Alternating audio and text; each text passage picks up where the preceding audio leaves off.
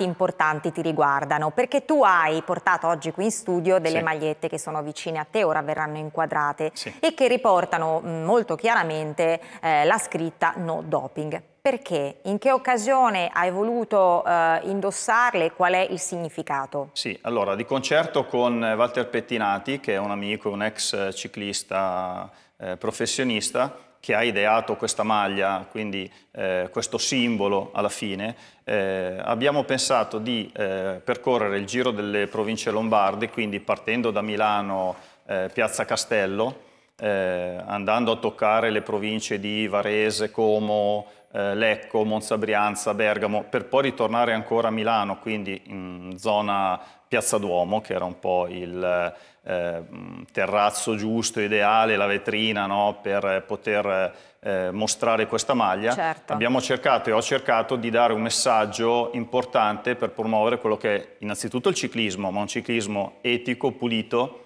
e appunto doping free, che secondo me, soprattutto per i giovani, eh, è un messaggio importante. Che deve arrivare sì. molto chiaramente. Tra le altre cose, Antonio, durante la scorsa estate tu hai eh, strappato, tra i vari sì. risultati, anche un brevetto. Sì. È vero? È vero, a sì. A cosa ho... si riferisce? Si riferisce al brevetto del Ghisallo. Allora, ho saputo di questa iniziativa, a dire la verità, ad estate inoltrata.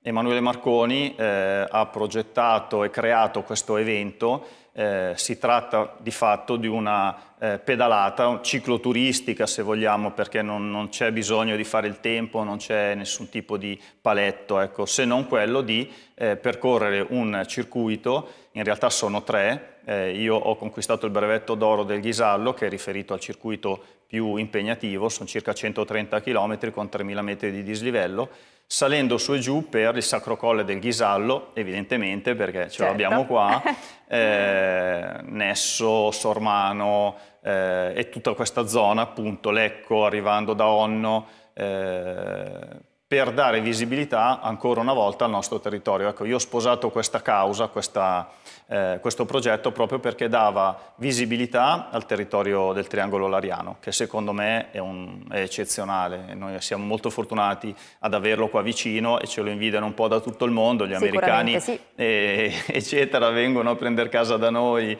anche per questa ragione. Anche per questa ragione. No, eh, anche per questa ragione, per cui non vedo perché non, non valorizzarlo. No?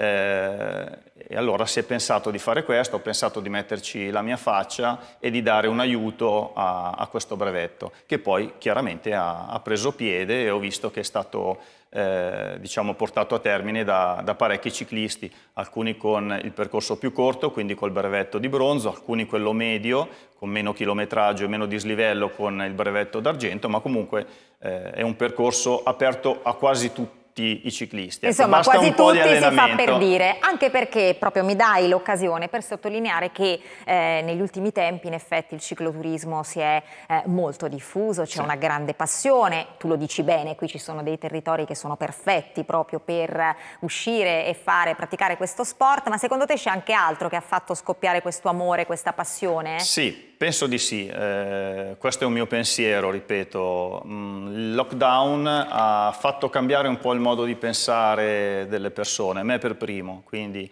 come si diceva prima la libertà sembra una cosa talmente evidente, talmente eh, quotidiana che quando non c'è ci accorgiamo che invece è un bene preziosissimo. Quindi eh, secondo me le persone in generale si sono accorte di questo e quindi hanno ricercato l'aria aperta, il contatto con la natura e quindi cosa meglio della bicicletta eh, e per l'ambiente, dico a favore dell'ambiente, eh, può aiutare. E può eh, rappresentare molto bene tutto questo.